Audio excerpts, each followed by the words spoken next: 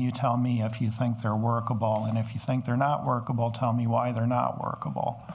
Recently, the U.S. Department of Labor held hearings on new rules that require financial advisors to act in the best interest of their clients and to disclose the real cost of the investments they recommend. You know, a, a commitment that when your when your reps are, are, are giving advice to people, that that advice isn't going to be affected by their financial incentives, but just going to be what's in the interest of the customer. Managing Director of Rebalance IRA, Scott Puritz, is a nationally recognized authority on retirement investing and was invited to provide expert testimony.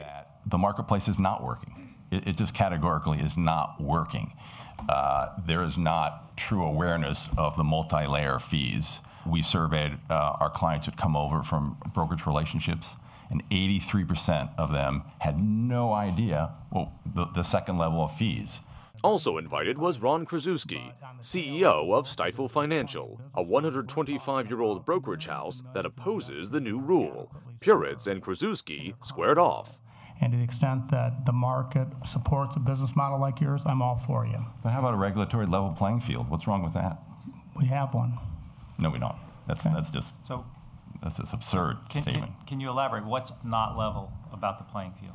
A completely different set of standards in terms of, you know, best interest is not a fiduciary standard. Under current rules, brokers are not required to disclose the fees they charge. Even small fees add up and compound over time and may compromise an investor's ability to retire with a comfortable nest egg. Albert Einstein is said to have described compound interest as the most powerful force in the universe. But long term compounding is a double edged sword. Fees also compound and unnecessarily eat away at retirement savings.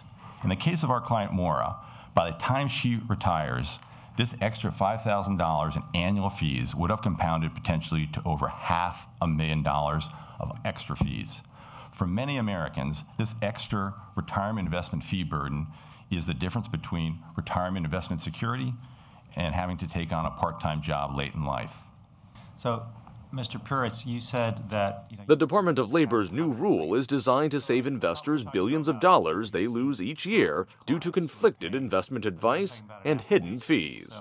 Well, there's there's one level of, of, of fees that are disclosed, if you will, or, or the consumer seems to be aware of the, the, the you know the classic one percent, percent and a half, or or some different uh, configuration. But where there's almost always a lack of awareness is at the fund level, where you, there are actively managed mutual funds that are, are typically frequently recommended. So- Uh, so- so- and that's that's that's the missing piece in the marketplace. One way to avoid that risk right now is to make sure your advisor is a registered fiduciary. To find out more, go to rebalanceira.com.